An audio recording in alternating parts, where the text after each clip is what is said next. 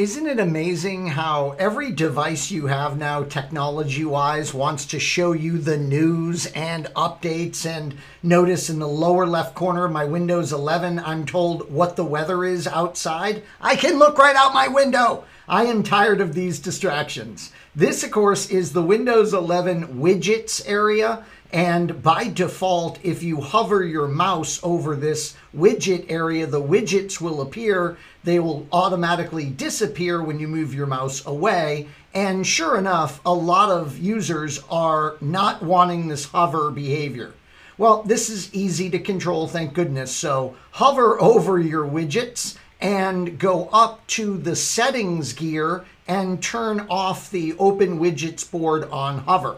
So that's one thing that you can do. Now, of course, a mouse click will be required in order to see the widgets. But I want them gone completely. Yes, I've got no use for this. Thank you very much.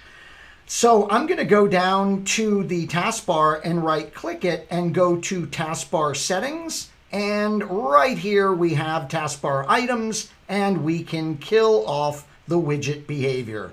Oh, me, I'm easily distracted, thrilled that it's gone, and Microsoft, good job of making it pretty easy to control this new Windows 11 feature that many of us just might not want. Thanks so much for watching, everyone.